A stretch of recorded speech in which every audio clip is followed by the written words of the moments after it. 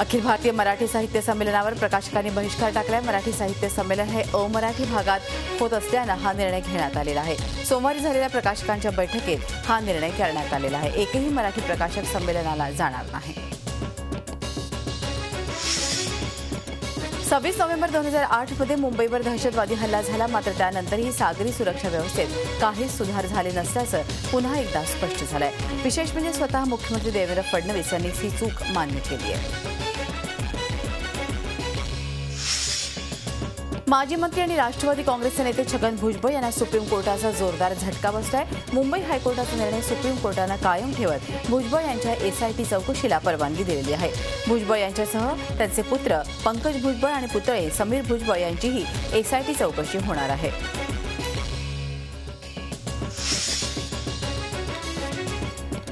मावळ येथे पाण्यासाठी आंदोलन करणाऱ्या शेतकऱ्यांवर अमानुष गोळीबार करणाऱ्या पोलीस अधिकाऱ्यांवर अद्याप कारवाई झाली नसल्याचं उच्च न्यायालयात स्पष्ट झालंय. सरकारची परिनिरीक्षक समिती अजूनही तपास करत असल्याबद्दल न्यायालयानं तीव्र नाराजी व्यक्त करत ही गंभीर बाब असून दोषींवर कारवाई कधी होणार असं विचारलेलं आहे. जवखेडा तिहेरी हत्याकांड करण्यात आलेली आहे. या याचिकेची न्यायालयानं गंभीर दखल घेत राज्य सरकारला चार आठवड्यात प्रतिज्ञापत्र सादर करण्याचे निर्देश दिले आहेत. जवखेडा हत्याकांडासंदर्भात स्कॉलर असोसिएशन बुद्धिस्टचे आनंद कदम आणि प्रतीक कांबळे यांनी उच्च न्यायालयात याचिका दाखल केलेली आहे. विधानसभा अध्यक्ष हरिभाऊ बागडेंविरोधात अजामीनपात्र वॉरंट जारी करण्यात आले. अतिरिक्त मुख्य न्यायदंडाधिकारी श्रीमती वाय के मोरे यांनी तारखेला हजर न राहिल्यानं बागडेंना अजामीनपात्र वॉरंट जारी केलेला आहे.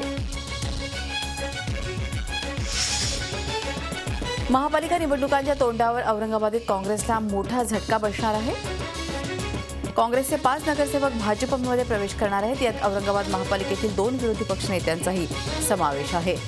राष्ट्रवादीकडून विधानसभेची निवडणूक लढवणारा एक नेताही भाजपच्या वाटेवर असल्याची माहिती आहे.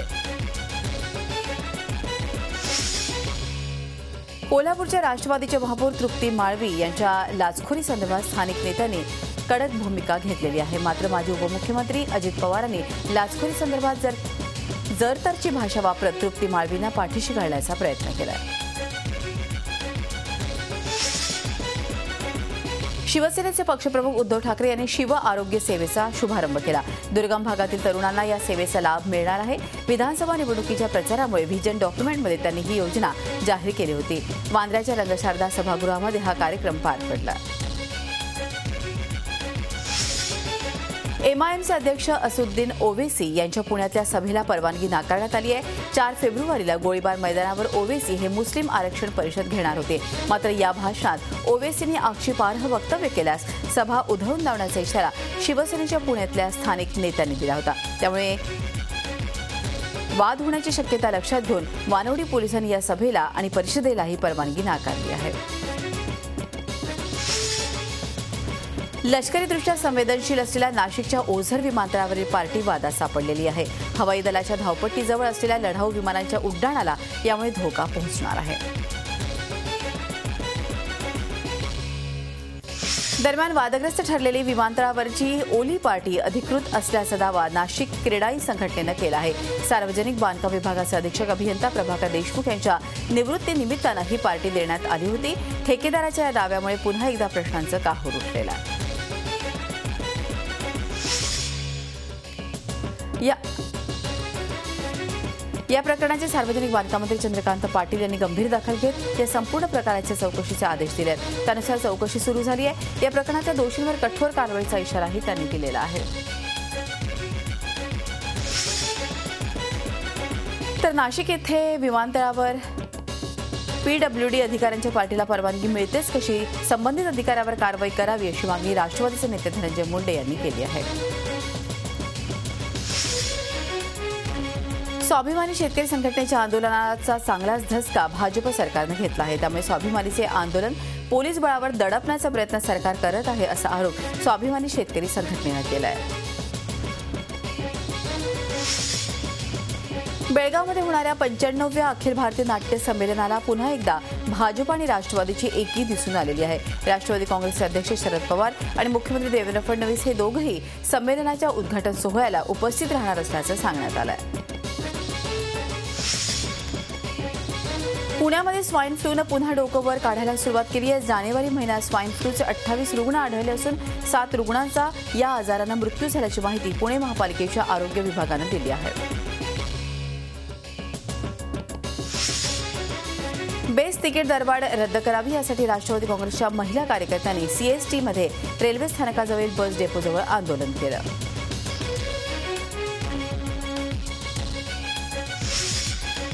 पुणे जिल्ह्यात दोन हजार चौदामध्ये नैसर्गिक आपत्ती ओढवलेल्या माळीण गावाच्या पुनर्वसनासाठी आता जागा निश्चित झाली आहे. माळीण फाट्याजवळची आंबळे गावातील जागा मिळणार आहे. आठ एकर जागेला संमती मिळालेली आहे.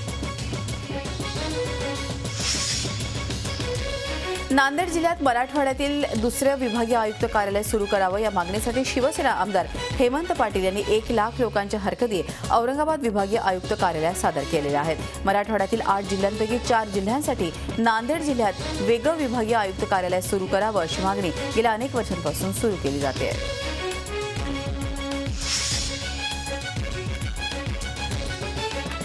गोंदिया येथील वनविभागात कार्यरत असलेले सहाय्यक वनसंरक्षक दिलीप टेकाडे यांना दहा हजारांची लाच स्वीकारताना गोंदिया लाचलुचपत विभागानं रंगेहात पकडलेला आहे. एक मोठा अधिकारी यामुळे जाळ्यात सापडल्या असल्यामुळे वनविभाग हादरला आहे. अपंग विद्यार्थ्यांना किमान कायद्यानुसार तरी शैक्षणिक सुविधा पुरवाव्यात. यासाठी रायगड जिल्ह्यातील अपंग विद्यार्थ्यांच्या पालकांनी रायगड जिल्हाधिकारी कार्यालयासमोर एका दिवसाचं धरणं आंदोलन केलं. या आंदोलनात चिमुरडी अपंग मुलंही सहभागी झाली होती.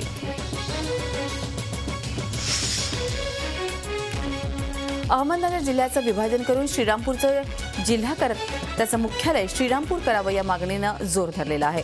या मागणीसाठी काही दिवसांपूर्वी श्रीरामपूर बंद ठेवण्यात आलं होतं. श्रीरामपूरमधील शालेय विद्यार्थ्यांनी शहरातून रॅली काढत जिल्ह्याची मागणी केली. जळगावातल्या चाळीसगाव जवळच्या पाटणादेवी जंगलात उडणारा साप आढळून आला आहे. या सापाचं नाव ब्रॉन्झ बँक असं नाव आहे. वन्यजीव विभागानं जंगलात लावलेल्या ट्रॅक कॅमेऱ्यात या सापाची छबी टिपली गेली आहे. जमिनीपासून तीन ते साडेतीन फुटांवर एका झाडांवरून दुसऱ्या झाडावर उडत जाणारा साप आढळून आलेला आहे. रुखई जातीचा हा साप पूर्णपणे बिनविषारी आहे. लांजा तालुक्यातील भटवाडी इथे मादी बिबट्या विहिरीत पडला आहे. विहिरीत पडलेल्या या बिबट्याला आठ तासानंतर वाचवण्यात वन विभागाला यश आलेलं आहे. भक्ष्याच्या मागे धावत असताना रात्री हा बिबट्या पस्तीस फूट खोल विहिरीत पडल्याची माहिती वन विभागानं दिली आहे. ही जत्रा आहे कासवांची. वेंगुर्ल्याच्या वायगणी बीचवर कासव जत्रेचं आयोजन करण्यात आलं आहे. वायगणीची किनारपट्टी कासवांना असुरक्षित वाटते आणि म्हणूनच दरवर्षी कासव या ठिकाणी येऊन अंडी घालतात. वायगणी गावातील तोरसकर आणि शशांक मराठे यांनी पुढाकार घेऊन या ठिकाणी आगळीवेगळी कासव जत्रा घडवून आणलेली आहे. कासवांची ही अनोखी जत्रा पर्यटकांसाठी अनोखी पर्वणी ठरली आहे. सोलापुरातल्या अकलूजमध्ये राज्यस्तरीय लावणी स्पर्धा भरवण्यात आलेली आहे. यात एकंदर बावीस संघांनी सहभाग आहे सुरुवातीलाच कैरी पाडाची आणि मंगेश कला मंचनं यावेळी अकलूजचं स्टेज गाजवलं तर सोलापूरच्या रागे साळुंखे यांच्या लावण्या खणींनी लाजवाब अशा लावण्या सादर केल्या. झी चोवीस तास. रहा एक पाऊल पुढे.